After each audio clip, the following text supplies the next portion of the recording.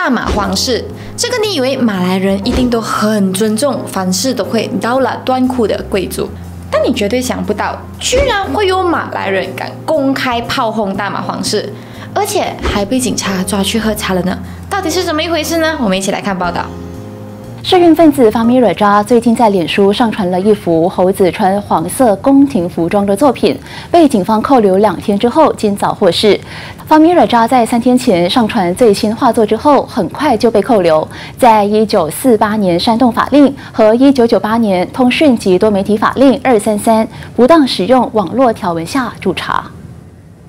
是什么可怕的图片让我们的警察要劳师动众呢？没有错，他就是《Powerpuff Girl 飞天小女警》里面的猴子反派莫九九九啦。只不过这一次他身穿了黄色的服装，哎呦，活该被抓啦！有没有问过人家 Cartoon Network 的版权？你不要以为你在帽子的部分画了两根中指就算是原创哦。那法米为什么要这样做呢？其实是因为啊，我们的雪州皇室买下了这一幅画。国会的殿堂两侧坐满了一堆青蛙和人猿，冒犯意味十足啊！毕竟青蛙和人猿都会很不开心，自己被当作是政治人物啦。而且书单自己买下来还不够，他还要 share 在 Facebook 上面昭告天下。朕看中了这幅画，就让他买下来挂在朕的御书房，陪朕写写字、看看画吧。朕的生活就是这么朴实无华。为什么网民都很嗨呀，突然惊讶。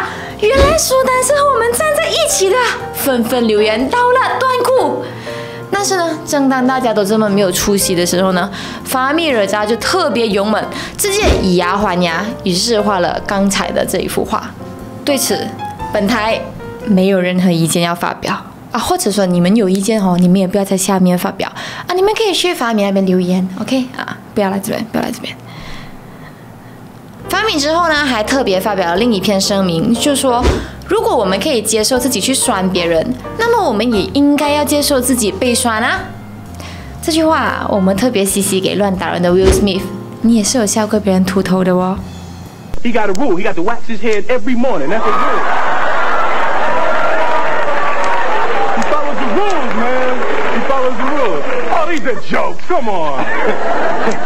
之后，当然法米就被抓去警察局审讯了。说完以后呢，这位马来朋友继续破文，他就表示自己已经从这个金马酒店退房了，并且这两天一夜很不错啊，好地点，好氛围，未来还会想要再来，就给四颗星。哎，好地点又好氛围，为什么只有四颗星呢？还有一颗扣在哪里呢？我找一下哈，嗯，应该是在。这里哦，OK 吗，老板？没有叫我骗男粉丝，有这样好骗吗？这时候你可能会想，难道苏丹和法米有什么过节吗？为什么就是要讽刺他？事实上，法米从来没有针对过个人，他针对的是在座的每一位。他嘲讽过允许非法伐木的彭亨州皇室，也讽刺过我们的元首后，更笑过部长是猪。我们呢也跟大家做过影片，和大家介绍过他。是的，就是那些我们自己不敢鸟的人，我们都会跟大家讲说：哦，你看他去鸟过了，这样呢就是他坐牢，不是我们。在发米的帖子里，我们不难发现啊，他一直都在强调一个概念，叫做 satire。什么是 satire 呢？就是用幽默的元素来讽刺一切不正确的事情。没有错，这也是我们频道一直都要秉持的精神。所以，如果大家也和我们一样都支持这样的精神的话，请大家购买我们的脱口秀门票，是 on everything。瑞发咪用你来打广告，老板逼的，OK？抱歉抱歉，但你也不会听中文。丽娜哈伦这个妇女部的部长。继高跟鞋赈灾、水洗壁虎粪以后，她的新秀又被网民们炮轰了，到底是怎么一回事呢？我们来看报道。丽娜哈伦去年七月探访贝拉的这段画面被网民翻出，在社交媒体引发争议。网民认为部长为了作秀，罔顾唐氏儿童的情绪，还带来记者和摄影，让孩子饱受惊吓。是啦，拜访唐氏儿还要带记者去拍，哎，你真的很糟糕哎！你要作秀，你都没有学到大马 YouTube 的。精髓，做善事要拍 vlog 吗？什么年代了还要拍照？或者实在不行，你就拍成节目也可以啊。啊，当然了，网民之所以这么生气，是因为被访问的主角是一名身患唐氏综合症的女童贝拉。贝拉在去年被爆出惨遭福利中心 Rumabonda 虐待，被发现的时候啊，贝拉整身都是伤，旧的伤口贴加新的伤口，烫伤、捆绑等等等等。职工呢还要卧底进去，发现啊，他吃的饭真的是很恶心啊，掺杂了醋啊、酱啊、盐啊、酱油啊、辣椒干啊，甚至是腐烂的炸鸡等等等等米饭，甚至里面还有一千两百八十条的小辣椒，哇，一千两百八十条，这个职工真的是很得空啊，居然去算好多少条小辣椒。事件发生以后呢，福利局也介入调查。当时虐待贝拉的 CD 拜农就辩称，其实是因为贝拉很固执、不听话，还会经常打扰其他的兄弟姐妹。他还一概的否认他身上的伤口是自己造成的，还说都是贝拉自己弄的。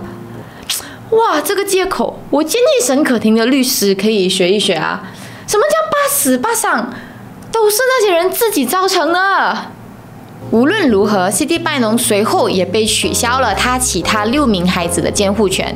目前案件呢还在审讯当中，但是 CD 拜农自己呢已经重金礼聘了十人的律师团为自己去辩护，而且啊这些律师居然还在法院外面和他合影啊，他很开心的那边比耶。